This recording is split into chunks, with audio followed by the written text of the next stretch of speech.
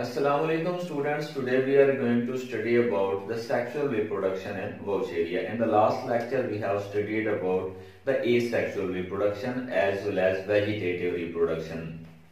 So if we talk about the sexual reproduction in the Vaucheria, then we can say that the sexual reproduction in the Vaucheria is oogamous like. So we will firstly try to define it what mean oogamous. Oogamous mean the gametes having two gametes mean male and female. If uh, the male gametes are motile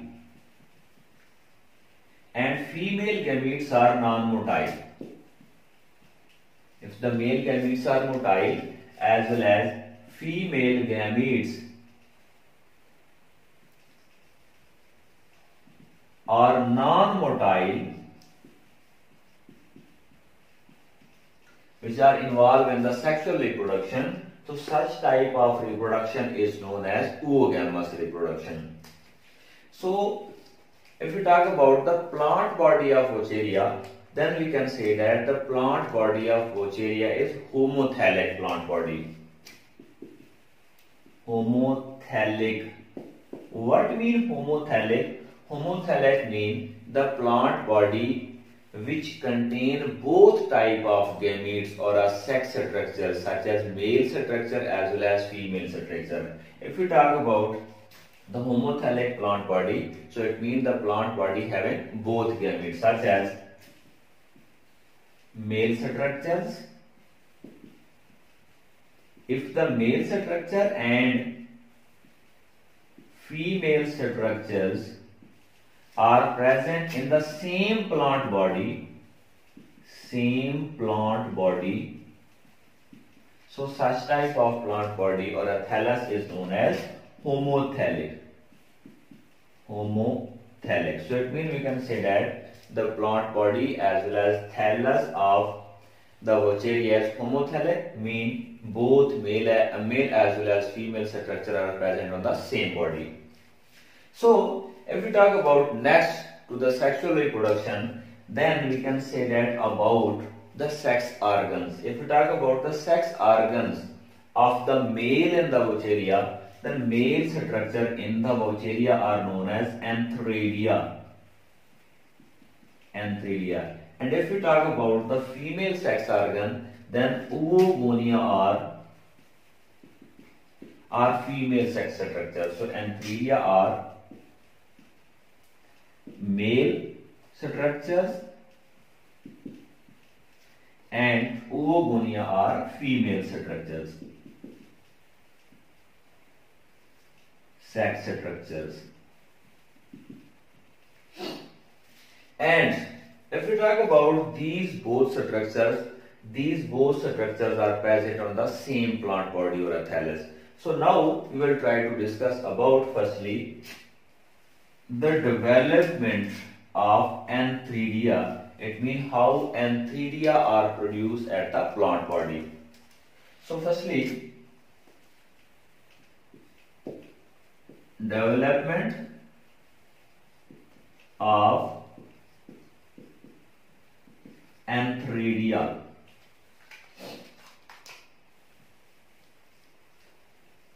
antheridia. How these antheridia are produced in the plant body?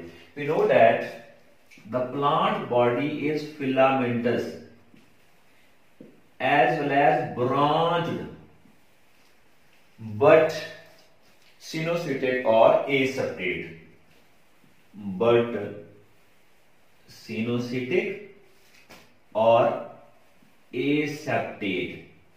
It means there are no cross valves present in the each branch of Vaucheria. So these the plant body is look like this. These are the branches and these are the branches of Vaucheria and we know that there are no septa present in the plant body.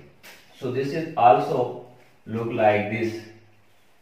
This is also a branch if we take only a small portion of this whole plant body.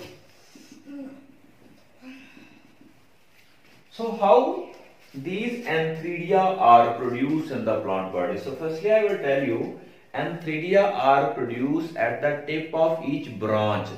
At the these are uh, each branch but such type which type of branch which are involved in the production of antheridia uh, so small sized branch are involved mostly in the formation of antheridia uh, so how the small branch produce the antheridia uh, for example this one is a small branch and this small branch tip of this small branch divided by a septum so this is a plant body or a thallus. Thallus. This is a small branch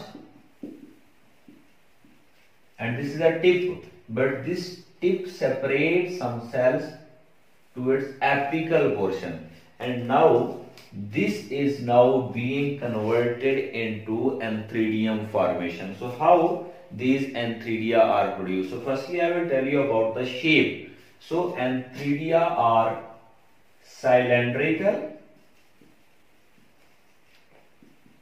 hook shaped and the antherozoid which are produced inside this that will be club shaped. Hmm. That will be club shapes. So now we are going to study how the antherozoids are produced. So firstly we uh, told you that these are cylindrical. So now this shape is cylindrical. Then this shape will convert into a hook shaped structure. So this cell grow like this.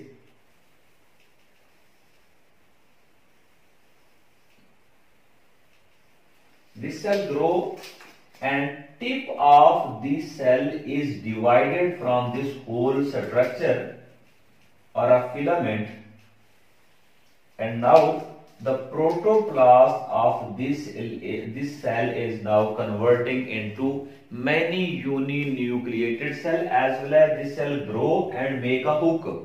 So how hook like structure is formed? Look like here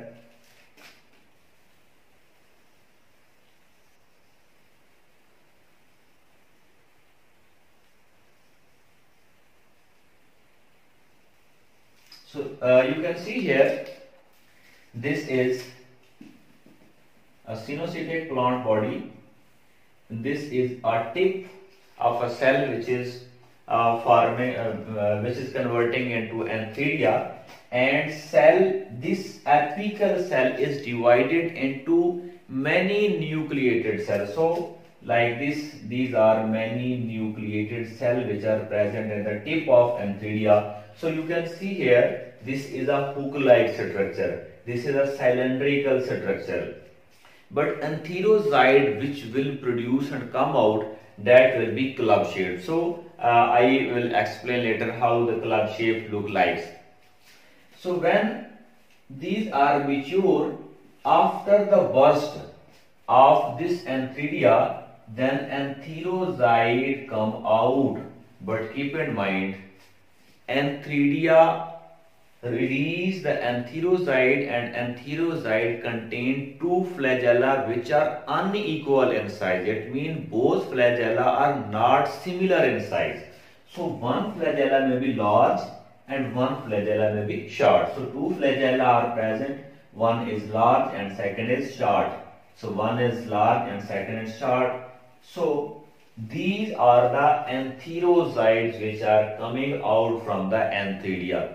So these are club shape. What mean club shape? This structure is a club shape. It means for example this one is structure and it has some flagella and these are opposite in direction. So such type of structure is uh, such such type of shape is known as club shape. So these are the club shape and three which are coming out from this antheridia, it is a male portion of Vaucheria and these are antherozoids which will fertilize the egg or oogonium to produce a zygote. So this was all about the production of antheridia as well as release of antherozoid from the male structure which is known as antheridia which are involved in